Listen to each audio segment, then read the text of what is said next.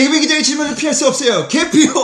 오늘의 주인공은 원조 보이 밴드죠. 클릭비의 기타리스트 노민혁 씨. 그리고 대한민국 최고의 드러머라는 표현을 쓰고 싶습니다. 작곡가, 편곡가, 우리 신지 씨, 안녕하세요! 안녕하세요. 반갑습니다. 반갑습니다. 네, 네. 애쉬 그레이입니다. 네. 일단 그 우리 그 텐아시아, 우리 개피오 팬들에게 인사 먼저, 노민혁 씨부터. 네. 네, 안녕하세요. 처음 뵙겠습니다. 네, 저는 아, 애쉬 그레이로 인사드리겠습니다. 노민혁입니다. 반갑습니다. 아, 좋습니다. 네. 네, 안녕하세요. 반갑습니다. 자기소개 정도, 네. 저는 저기 서울시 강서구에 살고 드럼 치는 아, 캐릭터 좋아요. 드럼 치는 신지라고 합니다. 네. 네.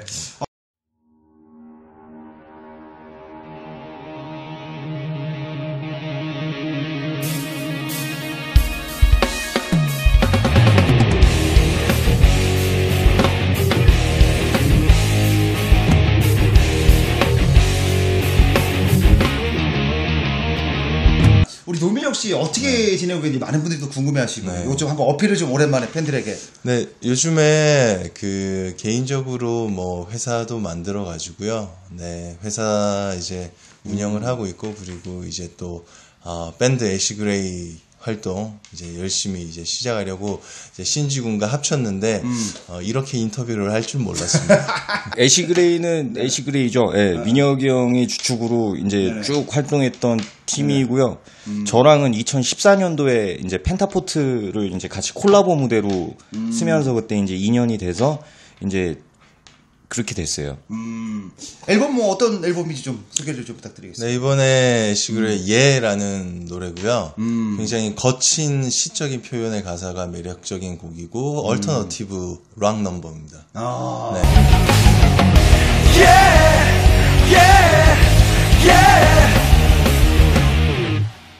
자 그러면 어, 두 분의 개피오 시작하겠습니다. 극단적인 인터뷰예요. 네. 둘 중에 하나만 결정하셔야 돼요. 아, 예. 엄마 아빠 하나 둘 셋. 엄마.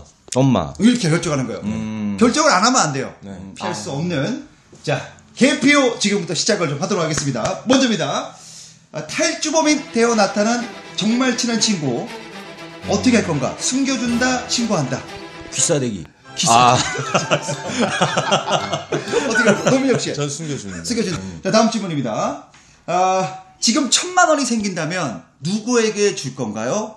엄마, 아빠. 자, 엄마. 엄마. 어, 두 분 엄마요? 아빠는 정말 싫군요. 네, 아버지 돌아가셔가지고. 아유, 죄송합니다. 아, 죄송합니다. 아, 죄송합니다. 아, 죄송합니다. 죄송합니다. 너무 갑자기 극단적으로 죄송합니다. 나가지고. 네. 네. 여기는 어떻게? 네? 이유는? 아, 연락 안 해서. 점점 어려워. 어쨌든, 네.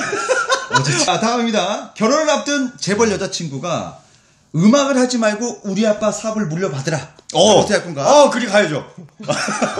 그리 갑니까? 여기는, 여기는, 여기는. 음악을 아예 노래도 부르면 안 돼. 어, 안 해, 안 해, 안 해. 여기는, 여기는. 네. 노미혁 씨는? 얘가 너무 단호하니까 당황스러워. 어떻게, 어떻게, 결정을. 굉장히 좀 고민이 되겠지만. 하면 되죠. 어, 저는 그렇게 이제 재벌이기 때문에 오히려 더 후광을 받을 수 있지 않을까 음악을 어, 하는데. 음악으로. 네. 좋습니다. 자, 다음입니다. 개, 개인 질문 갑니다. 노민혁 씨. 기타리스트로 실력이 대단했어요. 그죠? 네. 만약에 세상에 딱 두 명의 기타리스트밖에 없습니다. 그렇다면 이 두 명 중에 내가 이길 수 있는 사람은 네. 부활의 김태원, 백두산 김도균. 자, 와, 형사한테 혼나겠다, 이거. 와, 와, 형사한테 혼나겠다, 이거. 와, 형사한테 혼나겠다, 이거.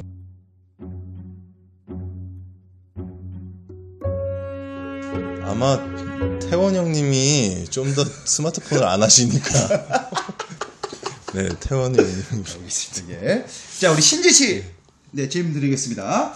아, 세상에 딱 들어보 두 명밖에 안 남았어요. 아, 예. 이분은 내가 이길 수 있다. 네. 첫 번째, 봄, 여름, 가을, 그래, 전태관님. 네. 클릭빅 드러머 하연건. 네. 현건이다. 현건이다. 현건이다.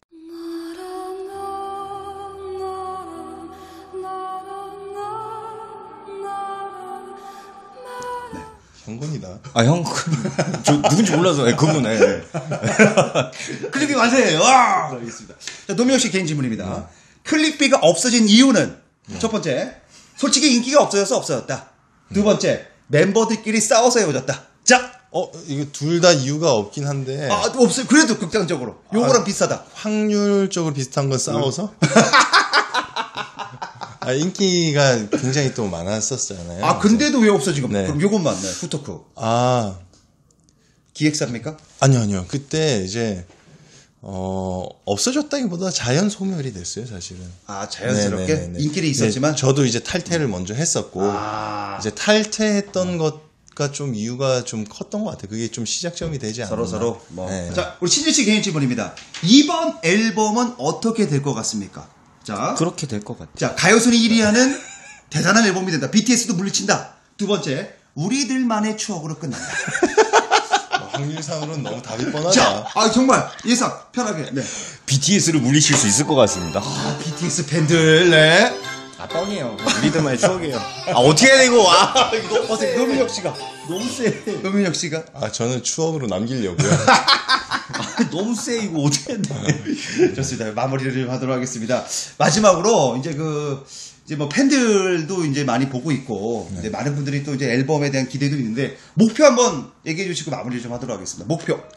네, 저희 목표는 진짜 하고 싶은 거 하고 하려고 지금 이제 뭉쳤거든요. 그리고 뭐 다른 사실 제 따로 회사도 이제 시작을 했기 때문에 음. 악으로는 스트레스 받지 않고 진짜 어, 솔직 담백한 메시지 전하자라는 마음으로 시작한 거기 때문에 그런 리얼한 담백한 메시지 전해드리겠습니다. 좋습니다. 네. 신지 씨도.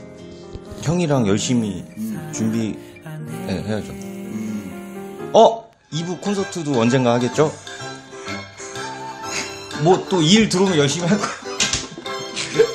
손이 안 나갈 수가 없네. 어쨌든 두 분의 음악을 응원하겠습니다. 우리 노미혁 씨, 신지였습니다. 박수 한번 부탁드립니다. 감사합니다.